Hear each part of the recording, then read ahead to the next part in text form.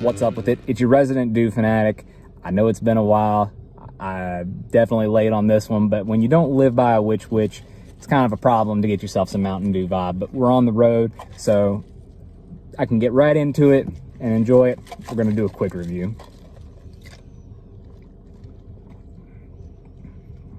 Not bad.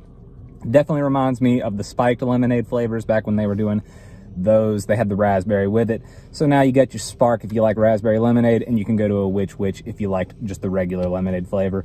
Definitely would get again. It's not one of those with an artificial sweetener. It's just like a traditional Mountain Dew flavor. So if you got one nearby, get it. And if you've tried it because you've probably had ample opportunity compared to me, uh, let me know what you think. What's your opinions on this? And uh, I'll just leave you with that. See you again soon. Until then, do the do.